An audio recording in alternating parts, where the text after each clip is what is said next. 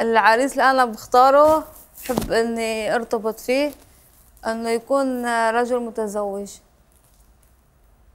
وعنده عائلة وعنده مرة اللي بتحب ترتبطي فيه هو شو؟ هو رجل إنه يكون متزوج أوكي بدك رجل متزوج إيه وعنده مرة؟ إيه و... وعنده عائلة يعني أولاد ليه بدك إياه مجوز؟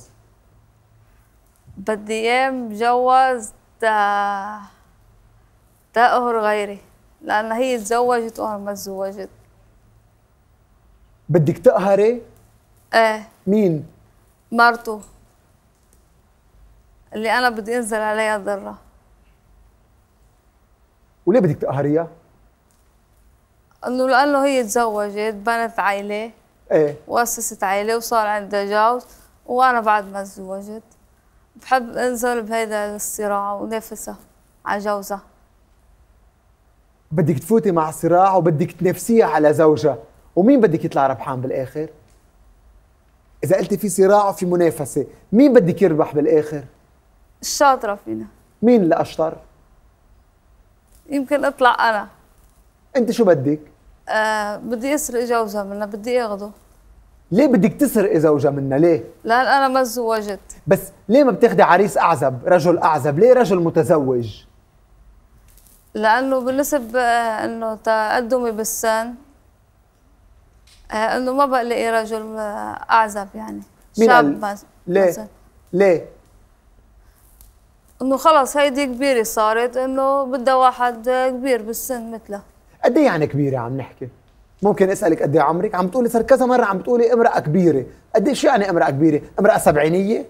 لا. ثمانينية؟ يعني 37 37 بعتبري حالك امرأة كبيرة؟ إيه. إنه المجايلة عندهم أولاد. إيه. وفي من جيلك ما عندهم أولاد وفي من جيلك ما تجوزوا وفي من جيلك هلأ بيحبلوا. صح؟ صح.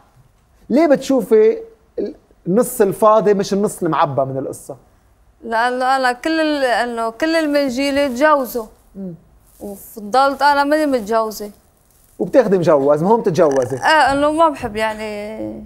ضلك عزبه يعني إيه بتطلع هيك بشوف كيف مثلا. كيف؟ تخيلي حياتك معه؟ عايشة أنت وياها بنفس البيت أو كل واحد ببيت؟ بقبل اعيش معها بنفس البيت. تقبل تعيشي معها بنفس البيت.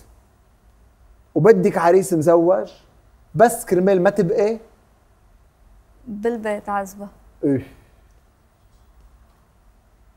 أمل. لو كان عمرك 20 سنة كنت بتحكي هالكلام؟ أكيد لا. مش عذاب للمرأة لما بده يقسم وقته بينك وبينها ويفضلها عنه يفضلك. مش عذاب رح تكوني عم بتعيشيه لا. إذا إذا فضل مرته الأولى إذا صرف على زوجته الأولى مصاري أكثر إذا ما تطلع فيك مش عذاب لإلك؟ عذاب بلا. عذاب. بلا بين عذاب. هيدا العذاب وعذاب إنك تبقي عزبة أي عذاب أرحم برأيك؟ عذاب معه. أرحم من إن ابقى عذبه. ولو حتى عذبك ولو لو حتى حتى عذبني وقهرني وغازني بالتانية بس بفضل إنه عيش معه.